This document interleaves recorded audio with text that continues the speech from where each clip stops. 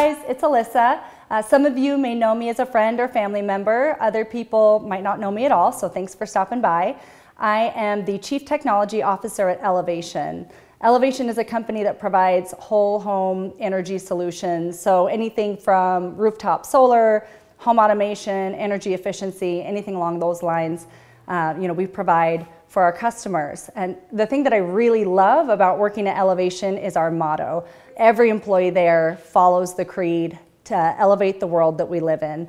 And that's especially important to me. Uh, for those of you that know my husband and myself, we are big believers in giving back, particularly to the youth and disadvantaged youth. So, children with medical problems, children that perhaps come from a disadvantaged background and don't have the same opportunity we give to either personally, as part of charities, or through volunteer work. So you may be wondering why I'm doing this event, and in order to explain that, we need to jump back about 12 years to my wedding night. Don't worry, I'm going to keep it G for you.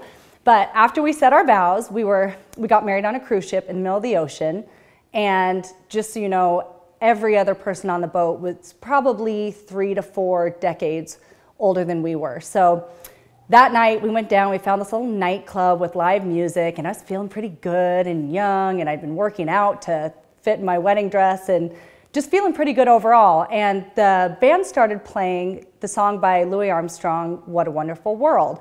I thought, oh, this is perfect. And we get on the dance floor, and you know, just this magical moment where I feel like we're just doing amazing. And then the band picks up and plays another song, and I've got some moves, and I look around and I realized that all these senior citizens are absolutely dominating us on the dance floor and they can do everything, whether it's foxtrot, cha-cha, doesn't, doesn't matter. If, if it's a dance, they know it, they're executing it, and we pretty much put our tails between our legs, went back, sat down, enjoyed the entertainment for the rest of the evening, and I vowed to myself that someday I would be able to ballroom dance. Not, not like house party dance in college, but legitimate footwork, know how to dance.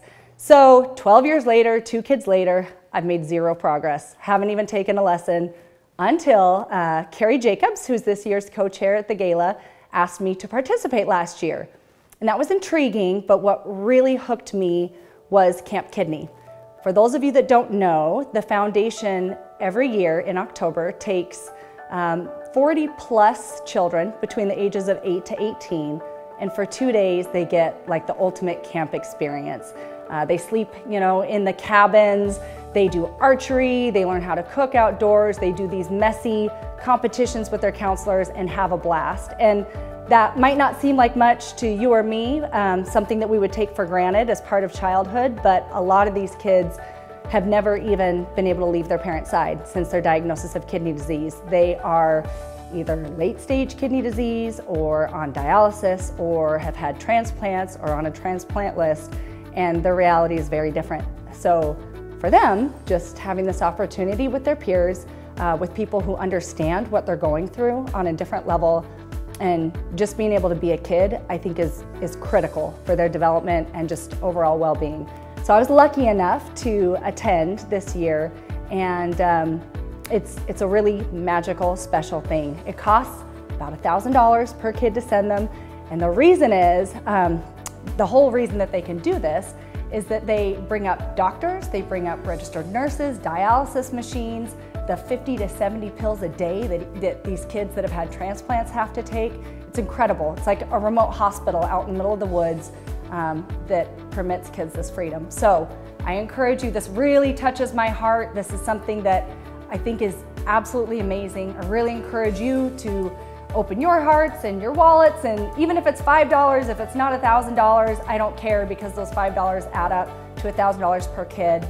Uh, one other thing to mention, uh, this is so important to Brian and I, that we do want to match 10% of all donations made under my name. So if you give $10, we'll give $1. If you give $100, we'll give 10. You know, if you feel like just dropping 10 large, we'll put in a 1,000. So please donate to the cause. It's amazing. And maybe after this, I can drag Brian to some lessons. And when we're 70 plus at our 50 anniversary on a cruise, maybe we can school all the uh, youngins out there. So thanks. Bye.